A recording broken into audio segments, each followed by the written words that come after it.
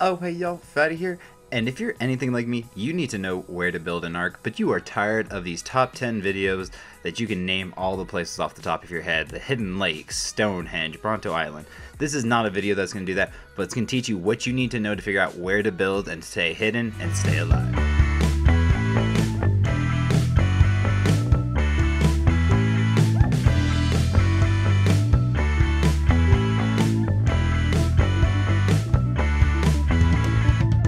Now my very first piece of advice, just like this intro of the video said, do not build anywhere that you can name. If you can name it and people know where it is off the top of your head, it is not a place to build. Right off the bat, everyone's going to know where you are because people are going to look there to build because everyone's seen those top 10 videos. Hey, build here, look how beautiful it is, it's gorgeous, which is cool. Those videos are great, do not get me wrong, but those are for people who want to kind of build in the PvE setting and not too worried about it. What you need to know is where to build to stay hidden and stay alive so you're not going to get raided every two minutes. So what we're going to do is right off the bat, don't go to those places. Find anywhere else but those places to build. For my second piece of advice, what I'm going to recommend is go and look up a resource map for whatever map you're playing on. Whether it's the island, the center, you know, if you're on Xbox, PS4, and you're waiting for Ragnarok to come out, you can still look it up.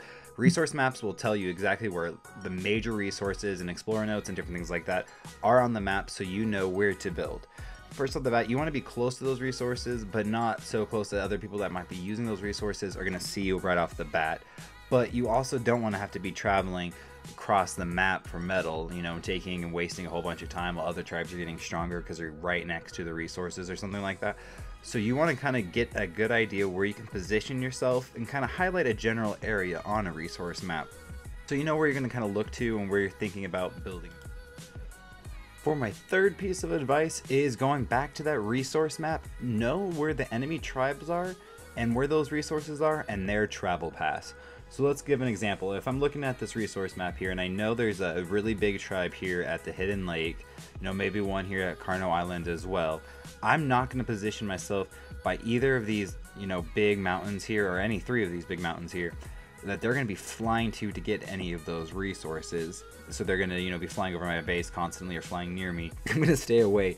So if you kind of look over here, there's not a ton of silica pearls right around the area. There is some kind of over to this side, but not heavily dense. So they're going to kind of be, you know, going over to this, this area over here, or possibly over this well more known area over here where silica pearls are and they're going to want to be flying to those paths to get it. So I'm going to kind of, you know, highlight these areas and highlight their travel paths and anybody else that I know about, you know, if there's somebody out here at Bronto Island as well, you know, they're going to need to be coming over a lot further to get some of those, you know, end game resources. So you're going to want to position yourself away from any major tribe but close enough to those resources you can get them. So you can kind of see how this is gets kind of complicated or you know kind of gets a little finicky here but what you want to do then is kind of highlight these areas and figure out where to avoid, where kind of looks good, narrow down these specific areas.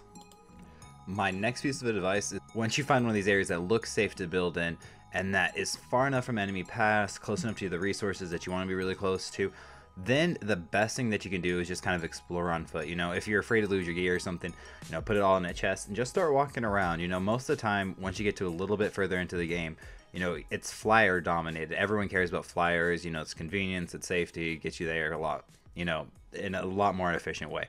But what you kind of miss out is a lot of the hidden areas are these more like densely bushed areas that actually have some flat, great areas to build something that's a little bit smaller, but to build up enough resources that you can actually build up a base that you can withstand and you kind of hold up later in the game that's a little bit bigger to house more stuff.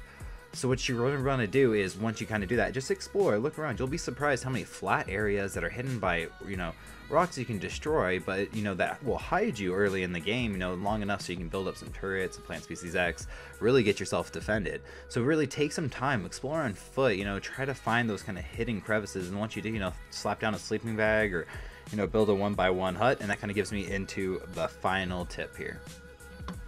So once you finally find that most gorgeous spot you think that is just going to be absolutely the very best, do what I call the forge flyer test. Build a one by one hut, doesn't have to be anything fancy, and put a forge in there. That's really the only thing that you're going to need to run that emits light overnight for like logging off or something a little bit longer period of a time.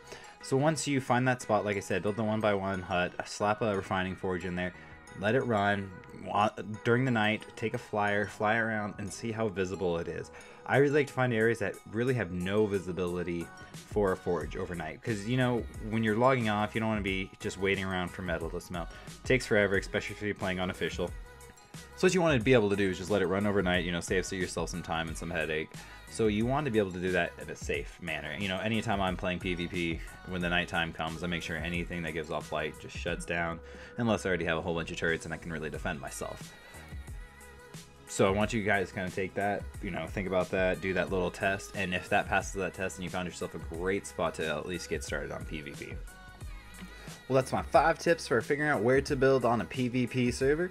Thanks for watching. If you guys like what I do, don't forget to smash up that thumbs button. If you guys learned something today, don't forget to subscribe, and we'll catch you guys on the next one. Peace.